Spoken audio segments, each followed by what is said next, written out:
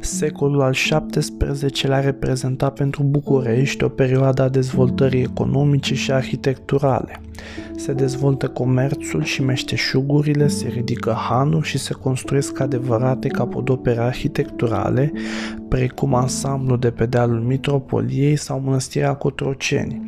Mai mult, venirea la conducerea țării a lui Constantin Brâncoveanu a coincis cu o dezvoltare spirituală și culturală, dar și cu o lungă perioadă de pace fără precedent pentru țara românească.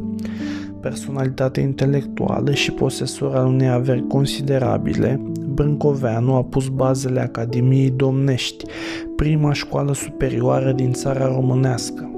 Tot el a ridicat printre altele Biserica Sfântul Gheorghe Nou de la kilometru 0, dar și Palatul de la Mogoșoaia.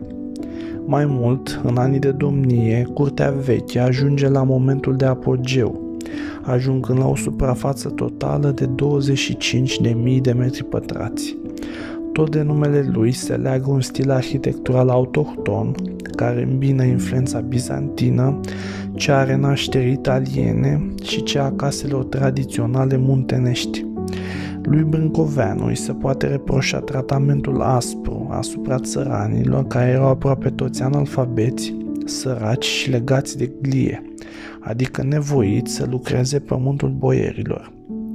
Cu toate acestea, pentru felul în care a murit, fiind executat la Constantinopol, împreună cu ginerele și cei patru copii și pentru că nu a vrut să se treacă la religia islamică, a fost canonizat de Biserica Ortodoxă Română.